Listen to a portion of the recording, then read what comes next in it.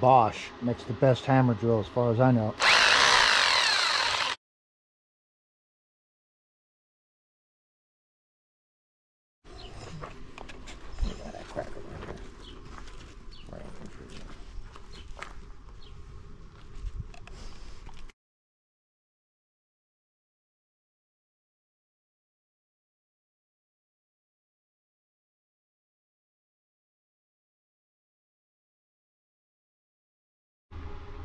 a little over 90 degrees.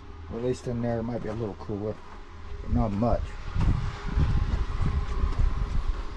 I think that's probably enough rebar for this.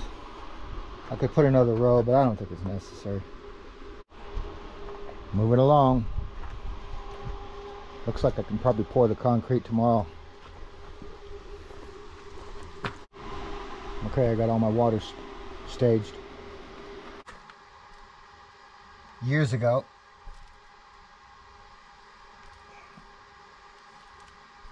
poured 18, I think it was 8, 16 or 18 of these sono tubes. They're cardboard tubes you put cardboard into. I mean concrete into 18 inches in diameter, if I remember correctly. And I went 18 inches in height. The reason I'm showing you this is because from that I came up with a formula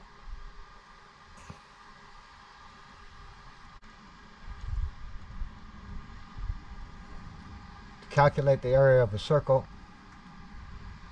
you go pi, 3.1416 is close enough. R,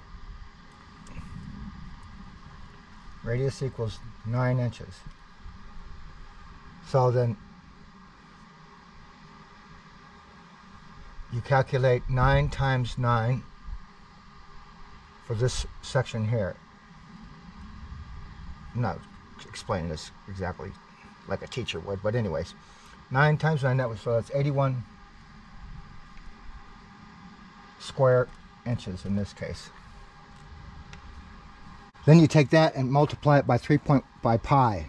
So 81 times 3.14159 equals 254 square inches.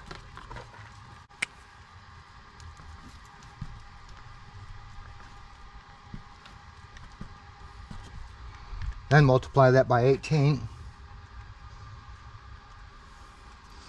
Gives you 4,580.4.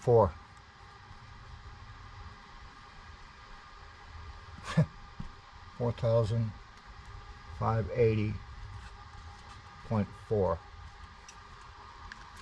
So it took six bags to fill this. Six 60 pound bags.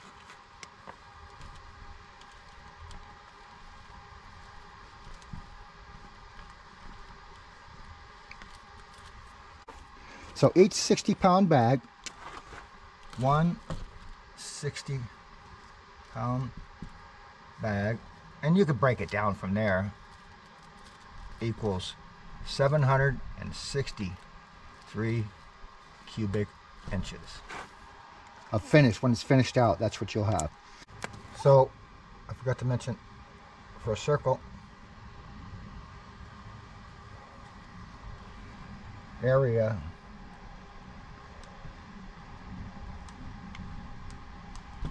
equals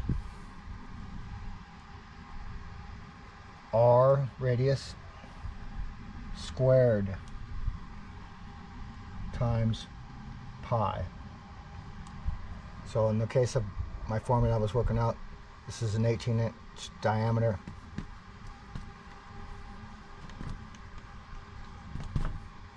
So we have a 9 inch radius, r equals 9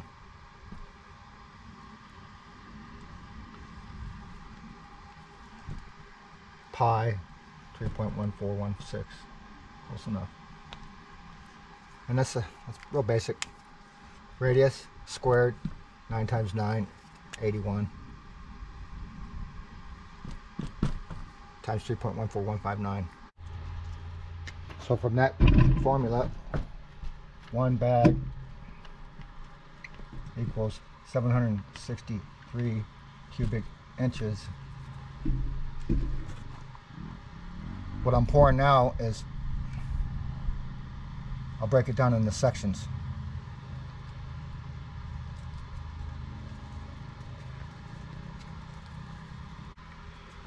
So from there,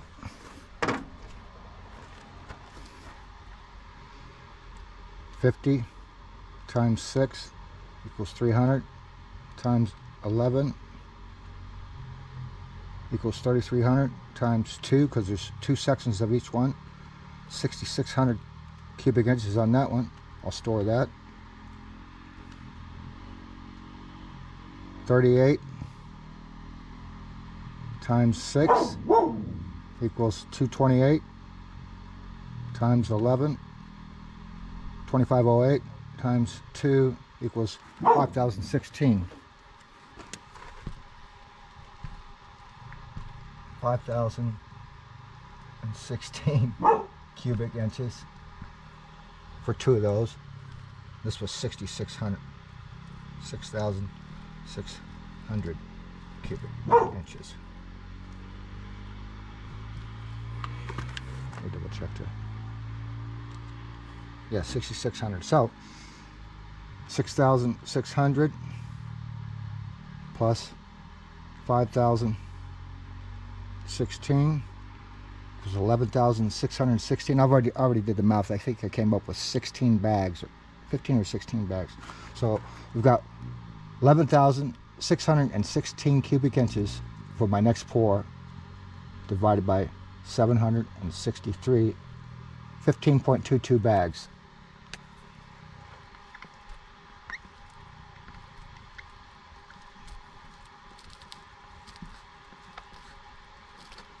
I've got like 19 or 20.